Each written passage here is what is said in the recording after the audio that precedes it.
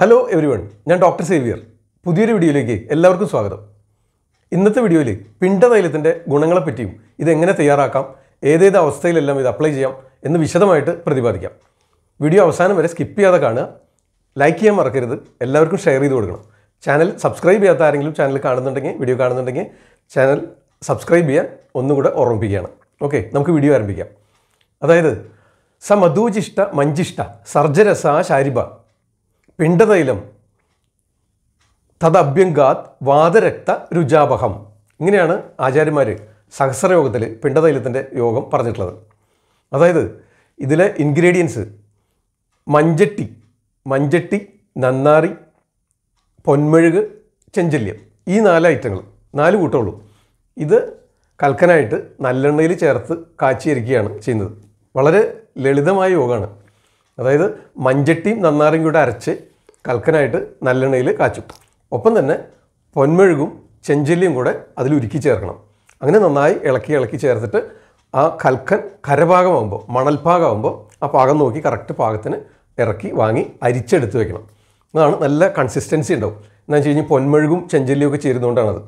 ഇതിന്റെ അപ്ലിക്കേഷൻ പറയുകയാണെങ്കിൽ രക്തവാദം മാത്രമേ ആചാര്യൻ ശ്ലോകത്തിൽ പറഞ്ഞിട്ടുള്ളെങ്കിലും ഒരുപാട് കണ്ടീഷൻസിൽ ഇത് അപ്ലൈ ചെയ്യാം. അതായത് രക്തവാദം എന്ന് പറയുമ്പോൾ രക്തധാതുവും പിത്തദോഷമാണ് കോപിച്ചിരിക്കുന്നത് നിങ്ങൾക്കറിയാലോ. അപ്പോൾ രക്തവും പിത്തവും ഉഷ്ണമാണ്. അപ്പോൾ അതുകൊണ്ട് തന്നെ നിങ്ങൾക്ക് ദേഹത്ത് അനുഭവപ്പെടുന്ന പുകച്ചിൽ രക്തബാധ രോഗികൾക്ക് സാധാരണയായിട്ടൊരു ചുട്ടുനീറ്റം പുകച്ചിൽ പറയും. ആ അവസ്ഥയിൽ ഇത് വളരെ ഫലപ്രദമാണ്. അതുപോലെ തന്നെ രക്തബാധ രോഗികൾക്കുണ്ടാകുന്ന നീരോട് കൂടിയ വേദന ചെറുതിങ്ങനെ വേദന ഉണ്ടാവും ചെറുതായിട്ട് പനി ഉണ്ടാവും ഉൾപ്പനി ഉണ്ടാവും ചുകന്ന് തടിച്ചിരിക്കും അതുപോലെ വെരിക്കോസ് വെയിനൊക്കെ ഉണ്ടാവും. വെരിക്കോസ് വെയിനുള്ള കേസുകളിലും ഇത് അപ്ലൈ ചെയ്യാവുന്നതാണ് അതുപോലെ പ്രമേഹം ഇതോടനുബന്ധിച്ചുള്ളവർക്ക് പ്രമേഹം ഉണ്ടെങ്കിലും ഇല്ലെങ്കിലും കാലുകളിലേക്ക് ഇങ്ങനെ കറുത്ത് ഡാർക്കൻ സ്കിന്നായിട്ട് വരും. രക്തവാത രോഗികളിലും കാണാറുണ്ട്. കറുത്ത നിറത്തിൽ അതുപോലെ രക്തവാത രോഗികൾക്ക് സാധാരണ ചൊറിച്ചിൽ ചെറുതായിട്ട് സ്കിൻ അലർജീസൊക്കെ കാണും. കാൽപാദത്തിലും കാൽമുട്ടിലും ഒക്കെ അങ്ങനെ ചൊറിച്ചിൽ അനുഭവപ്പെടും. മുട്ടിന് താഴെയാണ് കൂടുതലായിട്ട് പറയുക അപ്പോൾ ആ ചൊറിച്ചിൽ അനുഭവപ്പെടുന്നുണ്ടെങ്കിൽ അതിനും ഇത് ഗുണം ചെയ്യും. എന്താണെന്ന് വെച്ച് കഴിഞ്ഞാൽ മഞ്ചട്ടിയൊക്കെ ചേരുന്നുണ്ടല്ലോ.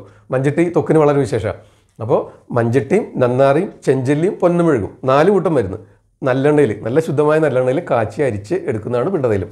അപ്പോൾ അത് രക്തവാദത്തിന് മാത്രമാണ് ആചാര്യം പറഞ്ഞിട്ടുള്ളത്. പക്ഷേ നമുക്ക് വെരിക്കോസ് വെയിനുള്ള കേസിൽ അപ്ലൈ ചെയ്യാം. ഈ രക്തവാദത്തോടനുബന്ധിച്ചുണ്ടാകുന്ന വേദനകളിലും സന്ദിഗ്ധമായിട്ടുള്ള ചെറുതന്നെയുള്ള വേദനയോട് കൂടിയ നീര് നീരോടുകൂടിയ വേദന? പിന്നെ ചുട്ടുപുകച്ചിൽ കാണാം. പിന്നെ ഡിസ്കളറേഷൻ ഉണ്ടാവാം. ചുവന്ന് തടിച്ചു വരിക ചിലർക്ക് കറുത്ത ഡാർക്ക് സ്കിന്നായിരിക്കും ചിലർക്ക് നീല നിറം കടും നീല നിറമൊക്കെ പറയും. രക്തവാത രോഗികൾ മുട്ടിൽ അതുപോലെ നല്ല വെളുത്തവരൊക്കെ ആണെങ്കിൽ കാലിലൊക്കെ നീല നിറത്തിലാണ് കാണുക. മനസ്സിലായോ? അപ്പോൾ ആ പുകച്ചിലുള്ള കണ്ടീഷനിൽ അതുപോലെ സ്കിന്നിൽ ഇച്ചിങ് ഒക്കെ ഉണ്ടെങ്കിൽ അവർ ചൊറിഞ്ഞു മാതി ചെറിയ റാഷസ് ഒക്കെ വരും ചിലപ്പോൾ ചെറുതായിട്ട് പൊട്ടും. അതുകൊണ്ട് രക്തപാത രോഗികളോട് ഈ ചൊറിച്ചിലൊക്കെ അനുഭവപ്പെടുന്ന കാരണം രക്തം ദൂഷിക്കുന്നുണ്ടല്ലോ പിത്തം ദൂഷിക്കുന്നുണ്ട്. അതുകൊണ്ടാണ് ഈ ഇച്ചിങ് ചൊറിച്ചിൽ അനുഭവപ്പെടുന്നത്. അപ്പോൾ അവരോട് നഖമൊക്കെ നന്നായിട്ട് വെട്ടി നിർത്താൻ പറയും. അപ്പോൾ എന്നാലും അവരിങ്ങനെ മാന്തുന്ന കൂട്ടത്തിൽ ചെറുപ്പം ചെറുതായിട്ട് ഇങ്ങനെ പൊട്ടുകയും ചെയ്യും. അപ്പോൾ അത്തരം അവസ്ഥയിൽ ഇനി ചൂട് കൂടി കഴിഞ്ഞാൽ ഈ രക്തപാത രോഗികൾക്ക് രക്തവും പിത്തവും കോപിച്ചിരിക്കുന്നു ഉഷ്ണമാണ് പുകച്ചിൽ തോന്നും സ്കിന്നിൽ ചെറിയ അലർജി പൊതുവേ ഉണ്ടാവും ചൊറിച്ചിലുണ്ടാവും. ഇനി ചൂടുകാലം നയിക്കട്ടെ ഏപ്രിൽ മെയ് മാസത്തിലൊക്കെ ചൂട് കൂടുമ്പോൾ ഇതിനൊക്കെ ഒന്നും കൂടെ ബുദ്ധിമുട്ട് കൂടും. അപ്പോൾ ചെറുങ്ങനെ ചെറുതായിട്ട് റാഷസ് ചുവന്ന് ചടിച്ച് തടിച്ച് വരുന്ന ചെറിയ ചെറിയ കുരുക്കളും കൂടെ കാണാം. അപ്പോൾ ആ അവസ്ഥയിലൊക്കെ പിണ്ടതയിൽ നമുക്ക് പ്രാദേശികമായിട്ട് കൂടെ കൂടെ പരറ്റി കൊടുക്കാം. പിന്നെ ദേഹത്തൊട്ടാകെ അഭ്യംഗം ചെയ്യുന്നതിന് ഉപയോഗിക്കാം. പിന്നെ നമുക്ക് ഉപനാഹമൊക്കെ കിട്ടുന്നുണ്ടെങ്കിലേ അതിന് മുമ്പ് ഈ പിണ്ടതയിലൊന്ന് പുരട്ടിയതിന് ശേഷം കിട്ടിക്കഴിഞ്ഞാൽ ആ അതിനകത്ത് ആ ഉപനാഹത്തിന്റെ മരുന്നുകൾ കൊണ്ട് ഉണ്ടാകുന്ന വിദാഹം ഉൾപ്പുഴുക്കം ഉള്ളിലൊരു പുഴുക്കമൊക്കെ അനുഭവപ്പെടും. അത് ശമിപ്പിക്കുന്നതിന് അതുപോലെ വിദാഹം ഉള്ള മരുന്നുകളാണ് ഇതിന് കെട്ടിവെക്കുന്നത് ആ ചൂടുള്ളിലേക്ക് കിട്ടാൻ വേണ്ടി. അപ്പോൾ ഉണ്ടാകുന്ന റാഷസും സ്കിൻ ഇഷ്യൂസൊക്കെ പോകാനായിട്ടും സഹായിക്കും. അതുപോലെ വെരിക്കോസ് വെയിനൊക്കെ ഉള്ളവർക്ക്. ഹൈലി ഡയബറ്റിക് ആയിട്ടുള്ളവർക്ക് കാലിലേക്ക് വരുന്ന ഡിസ്കളറേഷൻ അതിനും ഇത് ഉപയോഗിക്കാം. ഇനി ഇത് കൂടാതെ ഒരു ബ്യൂട്ടി സീക്രട്ടും കൂടെ ഉണ്ട്. അതും പറഞ്ഞുതരാം. അതായത് ഡാർക്ക് സ്കിന്നുള്ളവർക്ക് ഡാർക്ക് സ്കിന്നുള്ളവർക്ക് ഇങ്ങനെ കൈമുട്ടിലും കൈകളിലൊക്കെ ഇങ്ങനെ തൊലി വലിഞ്ഞിങ്ങനെ ചെറിയ ചെറിയ റാഷസ് വരിക അതുപോലെ മുഖത്ത് ഡ്രൈ സ്കിന്നായിട്ട് ചെറിയ ചെറിയ ചുളുക്കുകളൊക്കെ വരിക അത്ര അവസ്ഥയിൽ അതിൽ പിണ്ട തൈലും നാൽപ്പാമരാതി തൈലും കൂടെ മിക്സ് ചെയ്യുക. എന്നിട്ട് മുഖത്ത് ചെറുങ്ങനെ പുരട്ടിയിട്ട് മസാജ് ചെയ്ത് കൊടുക്കുക. ഒരു പത്ത് പതിനഞ്ച് മിനിറ്റ് അല്ലെങ്കിൽ ഒരു ഇരുപത് മിനിറ്റ് മസാജ് ചെയ്തിട്ട് ചെറിയ ചൂടുവെള്ളത്തിൽ കടലമാവ് ഉപയോഗിച്ച് കഴുകി കഴിഞ്ഞാൽ ആ ഡ്രൈ സ്കിൻ കൊണ്ടുണ്ടാകുന്ന ആ ഷ്രിങ്കിങ് കൊണ്ടുണ്ടാകുന്ന ഒരു ഒരു ഡ്രൈനെസ് ഇല്ലേ മുഖത്ത് അത് പോയി കിട്ടാനായിട്ട് സഹായിക്കും. അതുപോലെ കയ്യിലൊക്കെ ഭയങ്കര റഫ് റഫായിട്ടുള്ള സ്കിന്നാണെങ്കിൽ പരിപരുത്ത സ്കിന്നാണെങ്കിൽ ഈ പിണ്ടതയിലും നാൽപ്പാമരാതിയും കൂടെ കൈപ്പത്തിയിലൊക്കെ പുരട്ടാനൊക്കെ ഉപയോഗിക്കാം. കുളിക്കുന്നതിന് മുമ്പൊക്കെ പുരട്ടിയിടുക അത് നല്ലതാണ്. സ്കിന്നിനും നല്ലതാണെന്ന് ചുരുക്കം. മനസ്സിലായോ? അപ്പോൾ രക്തവാത രോഗികൾക്ക് പറ്റും. സ്കിൻ പ്രോബ്ലത്തിന് നന്ന- നല്ലതാണ്. അതുപോലെ കൂടുതൽ ഹൈലി ഡയബറ്റിക് ആയിട്ടുള്ളവർക്ക് കാലിലേക്ക് വരുന്ന ചെറിയ ചെറിയ ഡ്രൈ സ്കിന്നും ഇച്ചസും ഇച്ചിങ് അതുപോലെ കറുത്ത നിറം ഒക്കെ കാണുന്നില്ലേ? ആ അവസ്ഥയിലൊക്കെ പ്രയോഗിക്കാം. പിന്നെ ഇതുകൊണ്ട് മറ്റൊരു പ്രയോഗമുള്ളത് എന്താണെന്ന് വെച്ച് കഴിഞ്ഞാൽ നമുക്ക് ഈ ഫേഷ്യൽ പോലെ ഉപയോഗിക്കാമെന്ന് പറഞ്ഞു. ഇതുകൊണ്ട് ധാര ചെയ്യാനായിട്ട് ഉപയോഗിക്കും. ധാര ചെയ്യാനായിട്ട് ഉപയോഗിക്കും. പിന്നെ ഉപനാഹത്തിന് മുമ്പ് കെട്ടാൻ ഉപയോഗിക്കും. ഞാൻ മുമ്പ് പറഞ്ഞില്ലേ? ഇനി ഗർഭിണികൾക്ക് പ്രസവശേഷം ഈ വയറ്റിലൊക്കെ സ്ട്രെച്ച് മാർക്സ് വരും. ആ മസിൽസ് ഇങ്ങനെ ഡൈലേറ്റ് ചെയ്തിട്ട് പിന്നെ ഷ്രിങ്ക് ചെയ്യുമ്പോൾ ഡെലിവറിക്ക് ശേഷം അബ്ഡമൽ മസിൽസ് ഷ്രിങ്ക് ചെയ്യുമ്പോൾ ഉണ്ടാകുന്ന സ്ട്രെച്ച് മാർക്സ് ഇത് പോകാനും നല്ലതാണ്. അപ്പോൾ അതുകൊണ്ട് പ്രസവത്തിന് മുൻപ് തന്നെ സത്യം പറഞ്ഞ ഒരു ഏഴാം മാസം മുതലൊക്കെ ധന്വന്തരം തൈലം ഉപയോഗിക്കും. അതിൽ മിക്സ് ചെയ്തിട്ട് ധന്വന്തരം തൈലും പിണ്ടതൈലും കൂടെ കൂടെ വയറ്റിലും അടിവയറ്റിലും അരക്കെട്ടിലൊക്കെ നന്നായിട്ട് കുളിർക്ക പറ്റി ഒരു അരമണിക്കൂർ മാക്സിമം മുക്കാൽ മണിക്കൂർ അതിൽ കൂടുതൽ ഇരിക്കേണ്ട. ഒരു മണിക്കൂറൊക്കെ ഇരുന്നാൽ ചിലപ്പോൾ ചെറുങ്ങനെ ഉൾപ്പനി തോന്നും ഇവർക്ക്. അതുപോലെ ഇരുട്ട് വീഴുന്നതിന് മുമ്പ് സന്ധ്യയ്ക്ക് മുമ്പ് കുളി കഴിയും വേണം അന്ന് വെയിലുള്ളപ്പോൾ കുളിക്കരുത്. അതുപോലെ രാവിലെ ആണെങ്കിൽ വെയിൽ ചൂടാവുന്നതിന് മുമ്പ് കുളിക്കണം. അപ്പോൾ ഇത് ഇരട്ടി ഒരു മുക്കാൽ മണിക്കൂർ ഇരിക്കണം.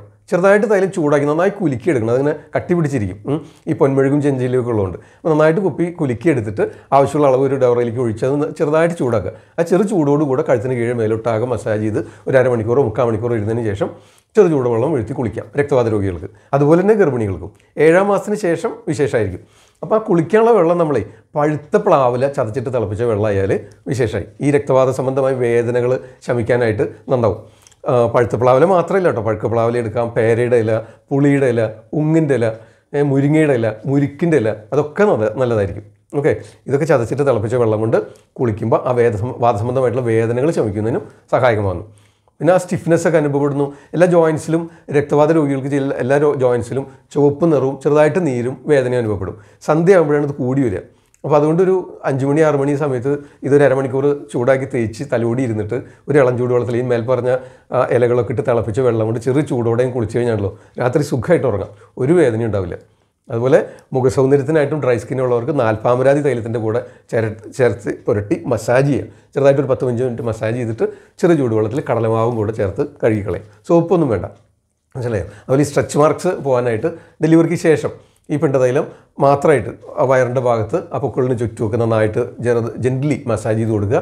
കുളിക്കുന്നതിന് മുമ്പ് അരമണിക്കൂർ മുൻപ് ചെയ്യാം ഓക്കെ അപ്പോൾ ആ സ്ട്രെച്ച് മാർക്സ് കുറയാനും സഹായിക്കാവും. പിന്നെ കാൽപാദത്തിൽ വരുന്ന ഈ ഹെവി ഷുഗർ ഉള്ളവർക്ക് വളരെയധികം ഡയബറ്റീസ് ഉള്ളവർക്ക് കാണുന്ന ഒരു ഡിസ്കളറേഷൻ ഉണ്ട്. രക്തപാത രോഗികൾക്കും അതുണ്ടാവും. അവർക്കും ഇതൊരു നാലോ അഞ്ചോ പ്രാവശ്യം ഒരു ലൈറ്റ് സ്മിയർ അതായത് നമ്മളിങ്ങനെ ആ പാത്രത്തിൽ ഇങ്ങനെ നാല് പേരിൽ ടച്ച് ചെയ്യുമ്പോൾ തുമ്പിൽ പെടില്ലേ?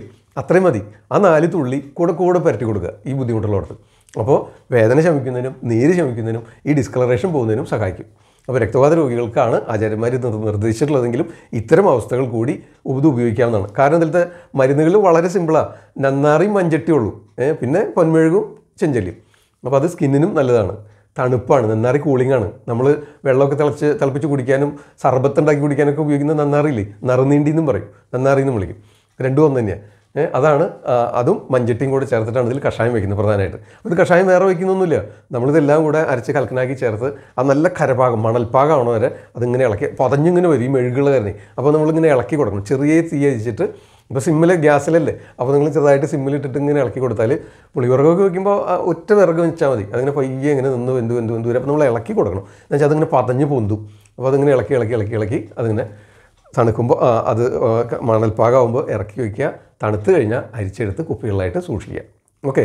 അപ്പോൾ ഇതാണ് പിണ്ടതൈലം. പിണ്ടതൈലത്തിനെ പറ്റി വളരെ വിശദമായിട്ട് പ്രതിപാദിച്ചിട്ട് വീഡിയോ സ്കിപ്പ് ചെയ്യാതെ എല്ലാവരും കാണണം. എന്തെങ്കിലും സംശയം ഉണ്ടെങ്കിൽ ആവർത്തിച്ച് കാണുക. മറ്റെല്ലാവർക്കും ഷെയർ ചെയ്ത് കൊടുക്കുക. അതിനു മുമ്പ് ലൈക്ക് ചെയ്യാൻ മറക്കരുത്. ചാനൽ സബ്സ്ക്രൈബ് ചെയ്യാത്തവർ ആരെങ്കിലും വീഡിയോ കാണുന്നുണ്ടെങ്കിൽ താഴെയുള്ള റെഡ് ബട്ടൺ പ്രസ് ചെയ്ത് ഓൾ നോട്ടിഫിക്കേഷൻ ആ ബെല്ല ഐക്കണിൽ പ്രസ് ചെയ്യുമ്പോൾ ഒരു മൂന്ന് ഓപ്ഷൻസ് വരും. അതിൽ ഓൾ നോട്ടിഫിക്കേഷൻ എനേബിൾ ചെയ്യണം. അപ്പോൾ നമ്മൾ പോസ്റ്റ് ചെയ്യുന്ന എല്ലാ വീഡിയോയുടെയും നോട്ടിഫിക്കേഷൻ നിങ്ങൾക്ക് കിട്ടും. ഓക്കെ തൽക്കാലം നിർത്തുന്നു. നന്ദി നമസ്കാരം. ഞാൻ ഡോക്ടർ സേവിയർ. മറ്റൊരു വീഡിയോയിൽ അടുത്ത ദിവസം വീണ്ടും കാണാം.